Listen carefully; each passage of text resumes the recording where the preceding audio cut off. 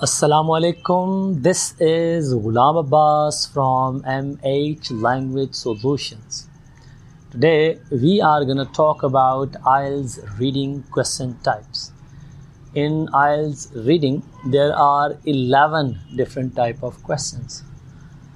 Out of these only 7 to 8 type of questions can be found in your actual exam paper. In reality it is the choice of your examiner to give any questions that he want to give in the paper. He can skip rest of the questions. Moreover any certain type of question can be given more than once in your examination paper.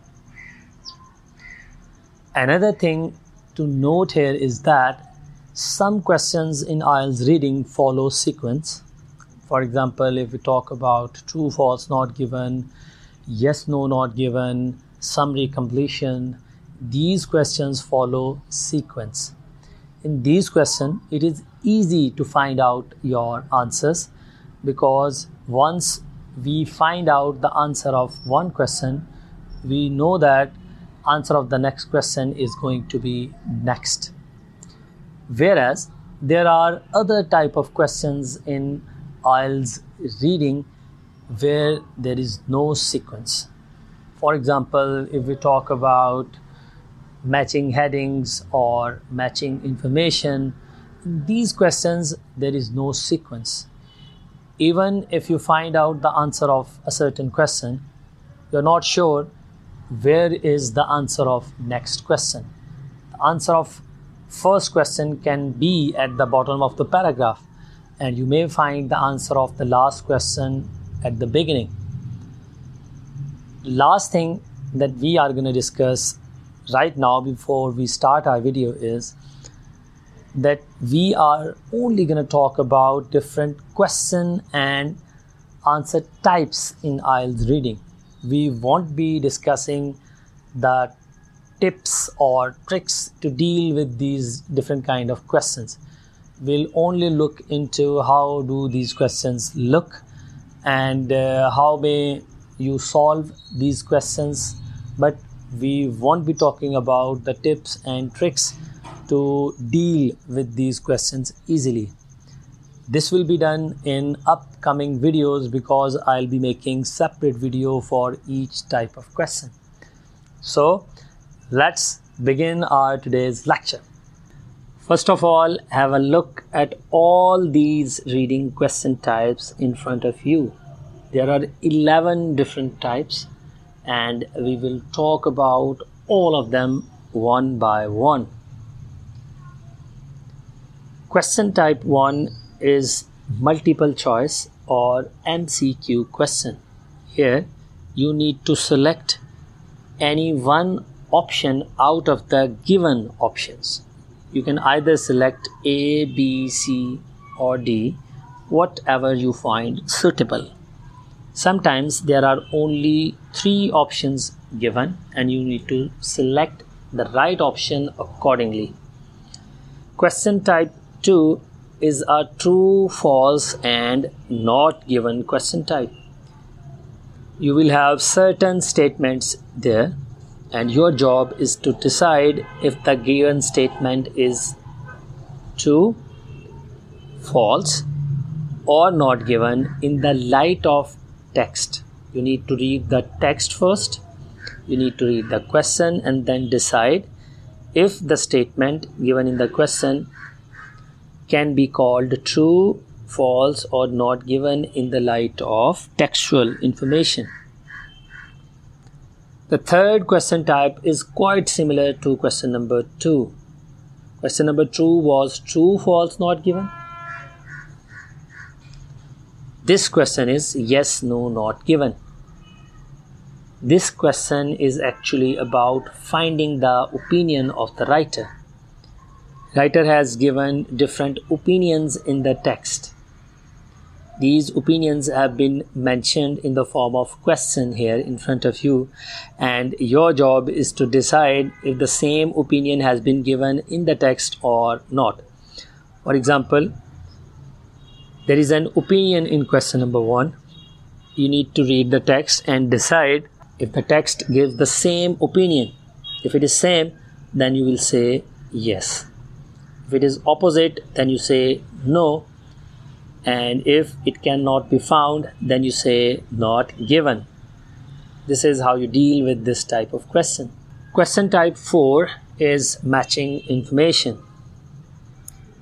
We have different paragraphs in the text. These paragraphs have different names like A, B, C, D, E, F, G, H. In the question, we have certain statements, like in this question, we have six different statements. Now, your job is to find which paragraph contains this information. For example, if the first statement, a comparison of past and present transportation method, is found in paragraph number D, then paragraph D is the answer of this question and you will write it right in front of question number 1 this is how you are going to deal with this type of question then we have question type 5 matching headings in this question we have again two things we have list of headings and then we have number of paragraphs the given example has nine headings and six paragraphs. For paragraph A, we need to find which heading out of the given headings is correct. Only six headings are correct, three headings are extra, they are just to confuse you.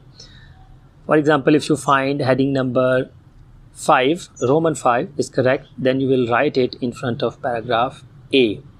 This is how you are going to deal with this type of question. Then we have question type 6. Question type 6 is matching features. Here we have different names and we have different features. Your job is to decide which name is associated with the certain features.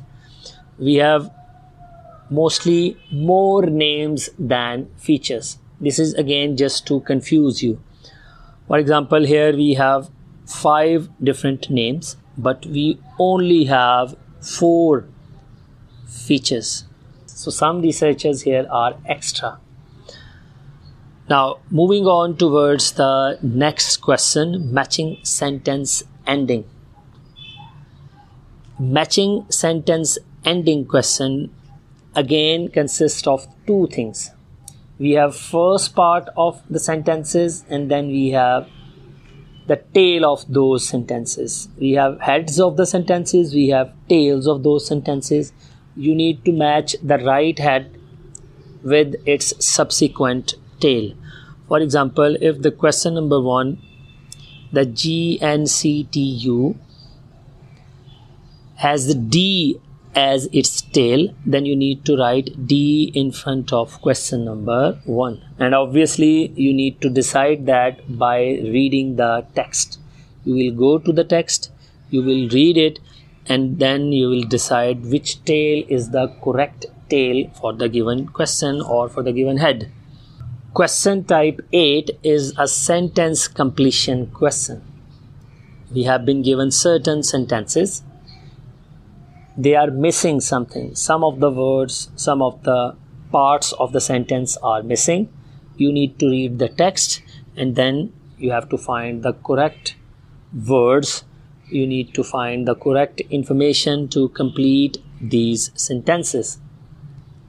One thing to be careful is you always need to find the exact word from the text. You cannot place your own words or you cannot change the textual words here. Okay, coming to question number 9. Question number 9 consists of different type of questions. We may have a summary completion question, a note completion question, table completion question or flow chart completion question under the same question type 9. First of all, if we talk about the summary completion, you will be given a summary. It's kind of like fill in the blanks, and you need to find the correct word to complete the summary.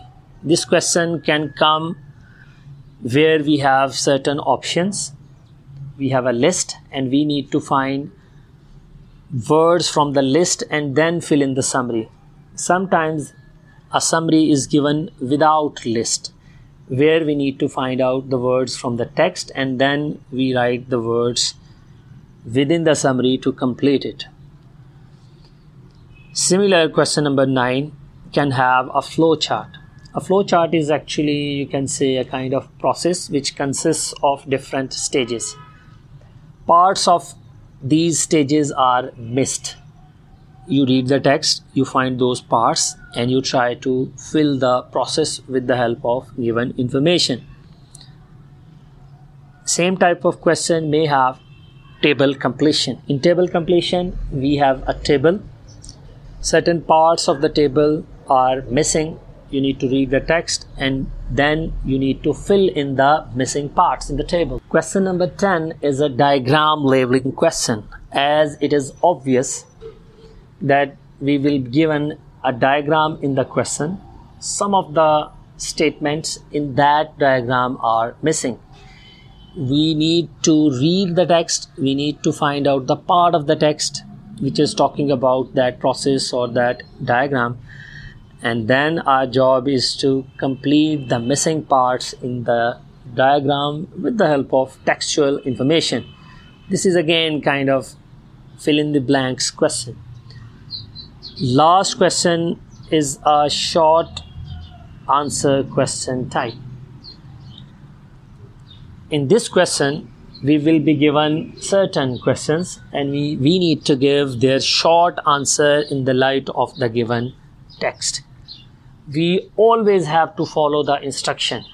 If we are given to write only one word or two word or three word as an answer then we cannot go beyond that. You always need to follow the instruction.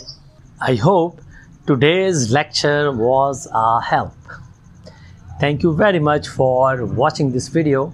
Stay tuned for the next exciting video. Allah hafiz